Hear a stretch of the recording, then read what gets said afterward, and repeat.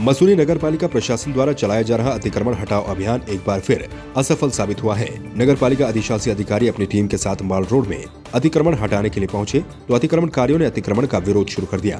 Police और प्रशासन के अधिकारी मूक दर्शक बनते देखते रहे। माल रोड में बड़े पैमाने पर हुए अतिक्रमण को लेकर नगर पालिका प्रशासन ने आधी अधूरी तैयारियों के साथ अभियान चलाया, लेकिन अतिक्रमणकारियों के विरोध के चलते वापस बैरंग लौट गए।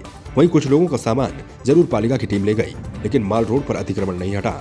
अतिक्रमणकारियों ने आरोप लगाया कि कुछ लोगों का अतिक्रमण हटाया जा रहा है लेकिन नगर पालिका के कुछ कर्मचारियों के द्वारा कराए जा रहे अतिक्रमण को पालिका प्रशासन नहीं हटा रही है। अ, कुछ अतिक्रमण हटा हटा दिया है। शेष का अतिक्रमण हमने दो दिन क्योंकि लोगों ने मांग की है कि उनको खुद अतिक्रमण हटाने के लिए समय दिया जाए। तो वहीं पर विरोध शुरू हो गया था और हमने अतिक्रमण को आज इसीलिए स्थगित कर दिया है। और किसी का नहीं ले जाने के हमारा माल सबसे पहले जाएगा यहाँ से उठा के। या तो पूरी मार्केट का जाना चाहिए था तो हमें भी सबर रहता है की सब मार्केट का गया सबके लिए अतिक्रमण हुआ है। संवाद थ्री के लिए। मसूरी से राजवीर रौचेला की रिपोर्ट।